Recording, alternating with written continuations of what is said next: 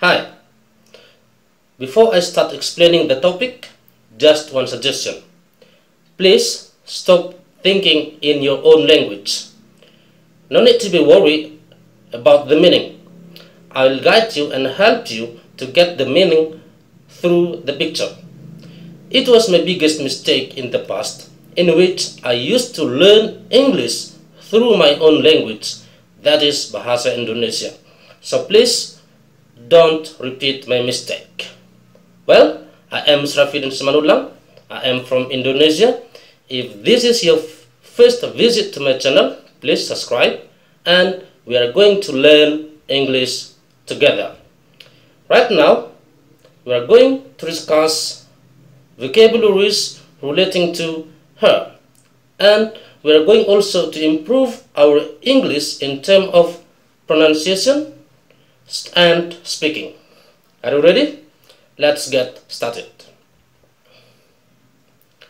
What is the color and how does your hair look like?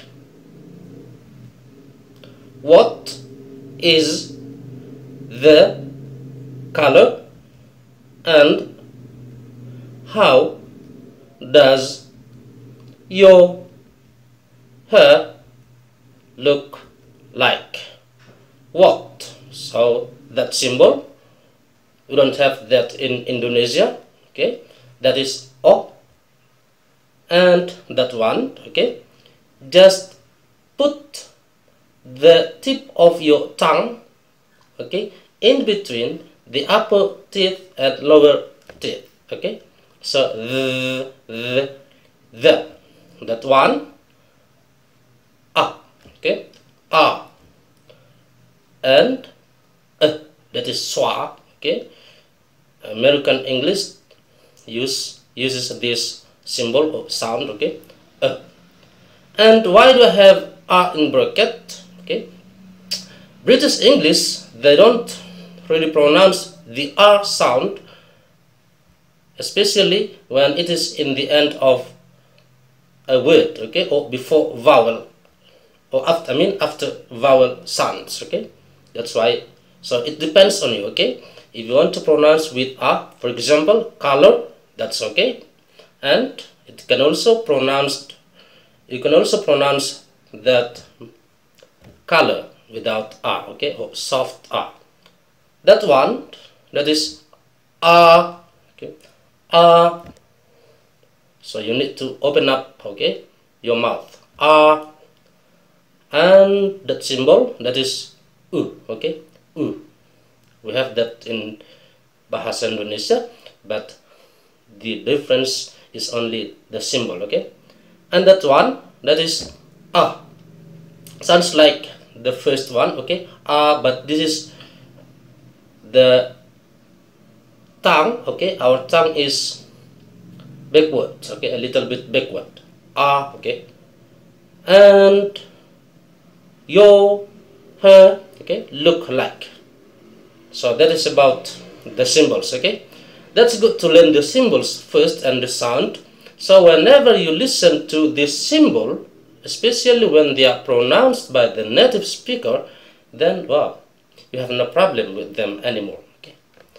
So this is the vocabularies relating to hair short black hair could you please repeat after me short black hair. Short black hair okay. And this one long black hair. Long okay that one that is the combination n and g. So mm, long black hair. Long black hair okay. Okay this is long gray hair. Long gray hair. Okay? Long gray hair. Okay this is long wavy brown hair. Okay so the color is brown and the hair is wavy. So that is wavy okay? The first we have that is actually straight okay? This if we move back to this one okay? Long black hair that is straight but you don't call straight hair because when you say oh my my hair is long and black so it means it is straight okay? Okay.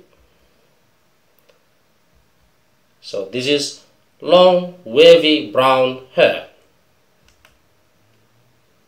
okay this is it. Long black curly hair. Long black curly hair. Okay. That symbols in which looks like number three that is uh, okay. Uh, curly hair. Long black curly hair.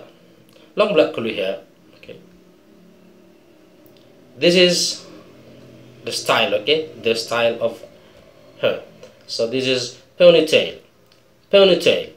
Ponytail. So there is only one tail. Okay. If we compare this then this is it okay. Red pigtails. Red pigtails. Red pigtails. Okay. Red pigtails. Because we have two tails. Okay. If there is only one ponytail and why do we say this is red? Because the color is red. If for example your hair is black then you can say black pigtails okay it means you have two tails. Okay. And this is fair hair. Fair hair. Fair means it is silky. Okay silky. That is why we have in Indonesia Sunsilk. It means silky. Okay. Can you see the sun it is so silky right? Silky. So in term of hair we call that as fair hair fair hair okay? Wow. And this is short spiky hair short spiky hair I think my hair is spiky. Do you agree with that? That's true okay? Spiky. Short spiky hair spiky means that one okay? Well that is for our discussion. Make sure you stay in touch with me. And see you in my other English learning video. Bye bye